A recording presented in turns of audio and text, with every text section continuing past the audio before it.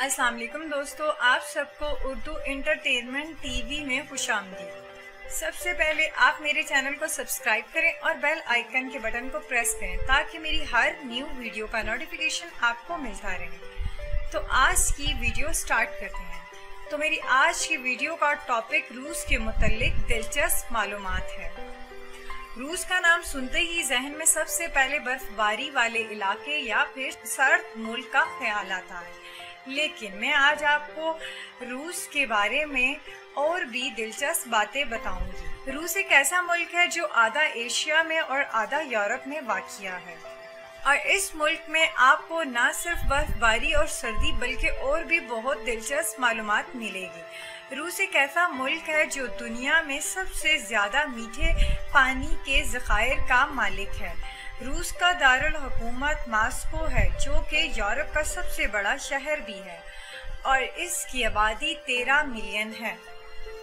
Mount Albert روس کا سب سے بلند پہاڑ ہے۔ اور یہ یورپ کا بھی سب سے بلند ترین پہاڑ ہے۔ اس پہاڑ کی بلندی پانچ ہزار چھ سو بیالیس میٹر ہے۔ یورپ کا سب سے مصروف ترین میٹرو سسٹم بھی روس میں ہے۔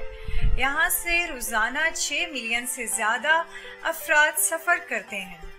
مشرقی روس میں کئی آتش فشا پہاڑ بھی موجود ہیں۔ رقبے کے لحاظ سے روس دنیا کا سب سے بڑا ملک ہے۔ یورپ کا سب سے طویل دریا بھی روس میں واقع ہے۔ روس خلائی دریافتوں میں سب سے آگے ہے اور بین الاقوامی خلائی اسٹیشنوں میں انگریزی اور روسی زبان کو بھی سرکاری زبان مانا جاتا ہے۔ امریکہ کے بعد روس دوسرا ایسا ملک ہے جہاں سب سے زیادہ تارکین وطن موجود ہیں۔ روس کے اندر سو سے زیادہ زبانیں بولی جاتی ہیں۔ روس دنیا میں سب سے زیادہ مدنی اور توانائی کے ذخیرے رکھتا ہے۔